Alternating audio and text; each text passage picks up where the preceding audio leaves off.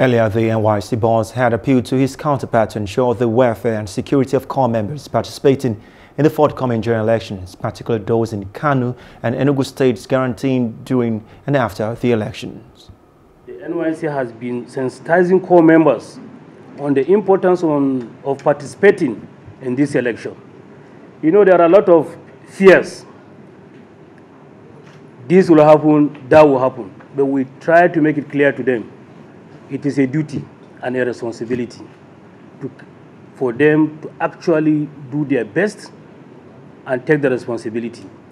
Tomorrow they will stand to be proud that they are part and parcel of the growth and the development of democracy in this country. I want to thank the chairman also for at least agreeing to improve the welfare of these corps members and their staff because that will go a long way in motivating them. And the issue of security, again, times without number, we have heard you talking about the security of these corps members, and we know we are working around the clock, day and night, talking with the security agencies on the importance of the security of these corps members.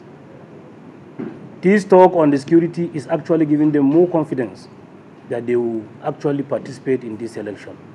On our part, we will continue to also sensitize them that they are actually secured and everything possible will be done to make sure that nothing come around them in the course of their duties. The NYSC had